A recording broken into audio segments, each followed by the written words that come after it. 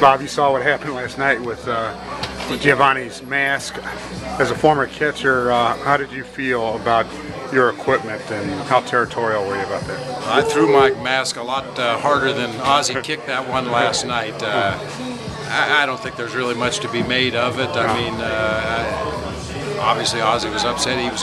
I said on the air, he kicked the first thing he saw. It could have been a bat, could have been a batter's helmet, it could have been a catcher's mask, or it could have been a home plate umpire's butt. Yeah. He wanted to kick something, and it just happened to be laying there. But uh, I think. Uh, Geovany and the rest of the guys uh, yeah, took it in the right light, had a little chuckle about it, and moved on. I don't think it's that big a deal. And usually, you know, umpires and, and hitters are pretty polite about picking up your mask and dusting it off and handing it to you yeah. to the catcher, right? Well, it would have been a nice touch if he'd have gone and picked it up and brought it back to him, but uh, I didn't expect him to do that at that point. Did you ever have a backup mask? Uh... Oh yeah, you always have backup everything. I'll tell you, if he kicked his mitt now, that would be a different story because it takes a long time to get that glove exactly the way you like it, and yeah. uh, you don't like anybody to mess with it, especially somebody from the other team.